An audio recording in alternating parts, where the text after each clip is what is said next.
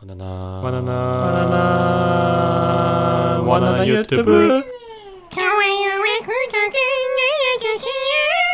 아 여러분에게 공지를 공지 아닌 경고를 좀 드리려고 또 준비를 한 게 있습니다. 아, 되도록이면 이게 퍼지기 힘들겠지만 여러분도 좀 알았으면 좋겠고 특히 이제 방송하시는 분들한테 많이 좀 알려졌으면 좋겠는데요. 원혹은 제 유튜브에 나왔던 그 군대 후임 새끼가 이제 방송을 이제 조금씩 시작해 보려고 이것저것 만지고 있고 어, 최근에 방송을 한두 번 정도 한 걸로 알고 있습니다 이 친구에게 누군가 방송을 하는데 트위치 귓말이 옵니다 자기를 저기 그 대기업 이제 우주하마님으로 이제 지칭한 사람이 접근을 해서 핫골을 키워주는 프로젝트를 하고 있다라고 말을 합니다. 그러면서 디코방에 초대를 하는데 그 디코방에는 각종 배그 스트리머들이 다 있어요. 율루트, 눈쟁이, 더해, 김블루, 뭐 대기업 게임 streamer들이 목록이 쫙 있고 이분들하고 게임을 할 건데 이번 토요일 날 내가 너를 키워주겠다. 게임을 하겠다.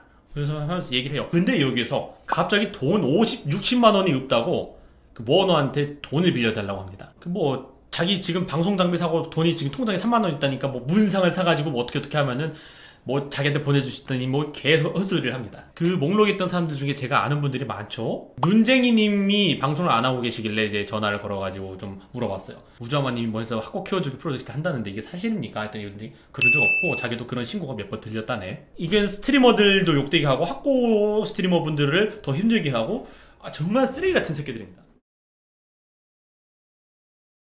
어떤 개쓰레기 새끼들이 유명 스트리머들을 사칭하며 자기 프로젝트에 오면은 어, 자신의 뭐 학고분들의 방송을 키워준다고 접근을 해요. 그리고 나서 친밀도를 올린 다음에 돈을 빌려줄 그런 대화 내용을 유도를 합니다. 여기 돈을 빌려주시면 안 돼요. 여기 디코로 초대하고 막 그런데 그 다 사기꾼 새끼들이에요. 그다 하나같이 그 돈 뜯어 먹으려는 새끼들이니까 그 속지 마세요. 그 병신들이에요. 그 새끼들. 각종 유명 스트리머들 다 있는데 그 다그 사칭이에요. 그 병신 새끼한테 속지 마세요. 그 새끼들 다 병신 새끼들이에요. 다 병신이에요. 와나나